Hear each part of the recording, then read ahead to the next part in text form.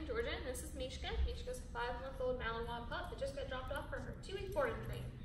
Mishka's working through a lot of stuff right now. She's very fearful of people and other dogs, uh, so she can be reactive and nippy towards that or otherwise trying to hide. So we need to work on that confidence and just socialization.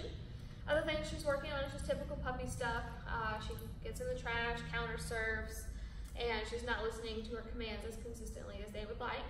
She does know a couple things already. Uh, they've been using her name as recall, and she does know sit and shake.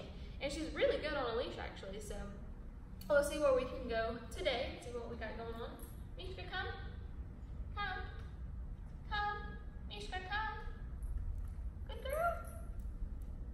She's still very wary of me. We've only been hanging out for about 10 minutes, so um, this is this is progress already. Mishka, sit.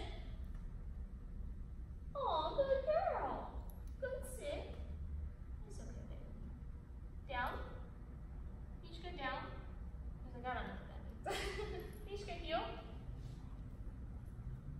Heel. Come on, heel. Just like this. Let's see about place. Mishka, place. Place. Place. Ah, ah.